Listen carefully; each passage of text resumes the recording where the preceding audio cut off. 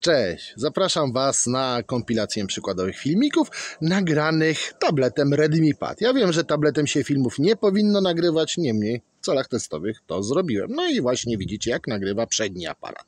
Teraz zobaczycie, jak nagrywa aparat tylny tego tabletu.